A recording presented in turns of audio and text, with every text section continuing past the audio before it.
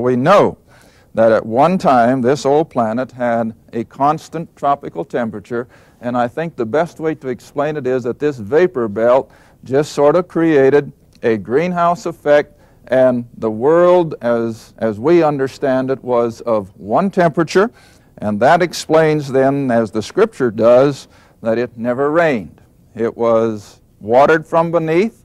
There was no opportunity for weather because, again, with the sunlight diffused all around the globe rather than hitting it directly as it does now, there was no shift in, in temperatures, there was no increase in uh, what we call atmospheric pressures. Everything was pretty much constant, and that gave rise then to the beautiful, calm, constant weather in that pre flood experience.